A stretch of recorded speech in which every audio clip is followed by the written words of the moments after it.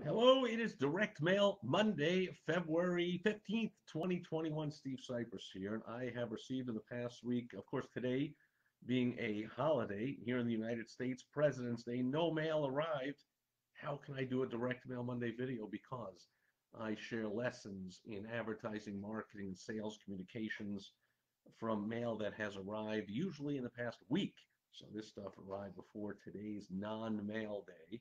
Uh, and in fact, not even technically arriving uh, solo through the mail. They were both inserts into uh, um, uh, into uh, other mailings. So this one came uh, there through Clipper coupon insertion, Clipper magazine, and this one through the Home Mag magazine insertion. But they both arrived a couple of days apart, and they're pretty much identical.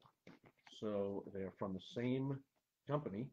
It's the old fake door hanger. You see the old thing here? Remove this perforated circle here and this uh, cut on the dotted line, I guess, to hang it on the door as if you're going to take it out of your in-home mag or Clipper coupon magazine and remove this circle and then hang it on your own door and then what? I guess knock on your own door and open it up and go, who's there? Oh, look, a door hanger. I must have missed the person. Like, really now? But anyway, I digress. So basically, a couple of things I want to point out, though, that uh, these are from the company. I share a lot of stuff from this company. They do a ton of advertising and marketing. This renewal by Andersen. So I am constantly getting bombarded with emails, direct mail, um, social media ads, uh, probably phone calls if I answer them. I don't answer the uh, calls from unknown numbers. They go right to voicemail on my phone with this new iPhone had that new thing on and I was like, yeah, let's do that. And then when I call someone and they call me back, I'm like, oh, uh, and right to voicemail. But anyway, uh, so basically, uh, they've got different colors, right? Different wording here in the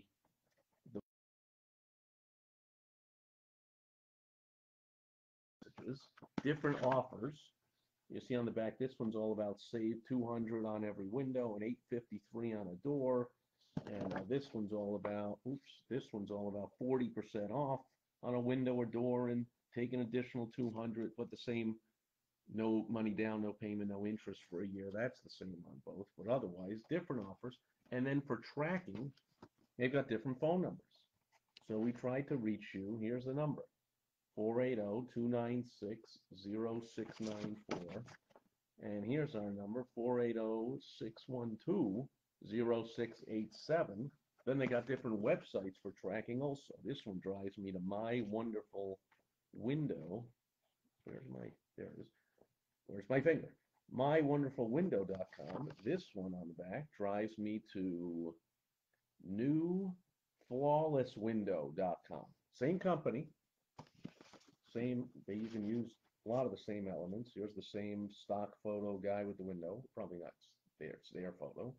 Um, you know, same layout, same weasel clause language on the bottom of the back, same mumbo jumbo legalese about whatever.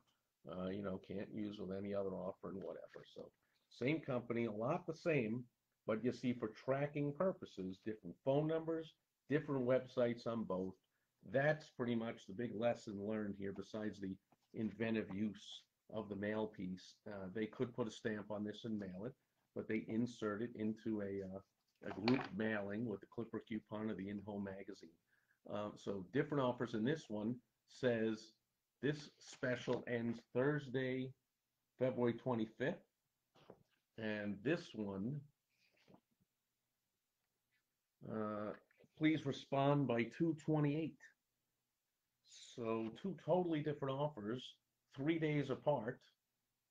Uh, interesting concept. They're tracking them both. So maybe they're purposely knowing everyone's getting both and saying, would I like to rather save 257 on every window or would I rather get 40% off uh, on a window and the extra 200 and doing the math, figuring it out and they'll see which one people call, which website they go to, and then perhaps one will go away and the other one will become there what is known in the industry as a control.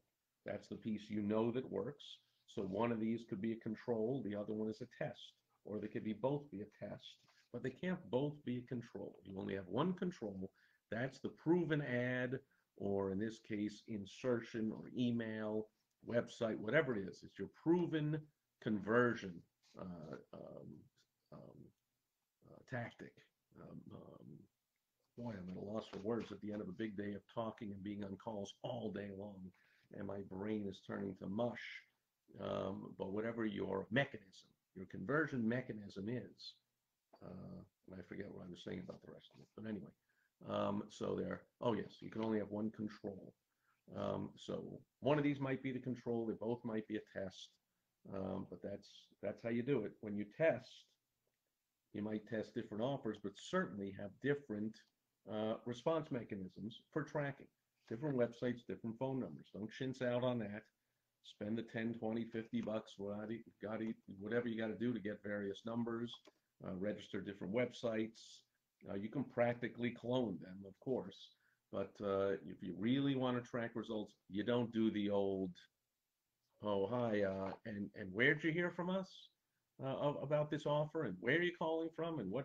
Because if you're if you're if you're really a sharp business person, you're doing all kinds of different advertising and marketing. Well, they, it's a complicated question that they don't even know how to answer. I mean, they saw your commercial on TV, and then they got an email. This thing arrived in the mail, and the person answered the phone goes, "How'd you hear about us?" Like, ah, boo, ah, I don't know. For years, I've been getting your mailings and seeing your emails, your TV, and you can't get a a valid uh, track, you can't track validly which one they responded to. You can do it with different offers. If this one said 257 on every window, this one said 267 on every window, it's another way of tracking whatever offer they asked for. But it really helps to have the different phone number and the website for tracking. And too many small business owners don't do that.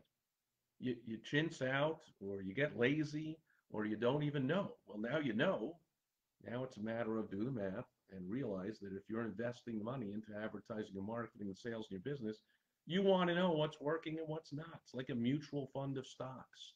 Uh, every quarter, the mutual fund manager, or every week, or however often, he or she is looking over the basket of stocks and saying, This one's underperforming, I'm getting rid of it. And that thing we don't have is performing really well. Let's add that one in.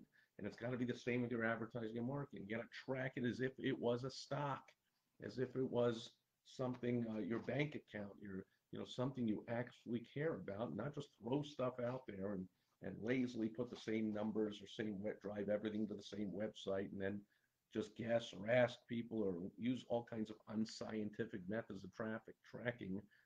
Don't do that. Follow the lead today, the lesson on today's Direct Mail Monday. Track your stuff properly so you absolutely know what's working, what isn't, what can be improved, what needs to be thrown out, what needs to be kept, what needs to be done more of, all that kind of stuff. If you want help with this in more detail, I am doing strategy sessions all day long. Uh, you can go to helpfromsteve.com. Uh, my calendar's uh, fairly packed, but uh, you can squeeze it in there somewhere, and uh, we'll talk for a few minutes, and I'll point you in the right direction and help you out in one way or another. Helpfromsteve.com. Otherwise, that'll do it for Direct Mail Monday. Thanks for being here today, and I'll be back tomorrow on Topical Tuesday. I will catch you then. Over and out. Bye bye.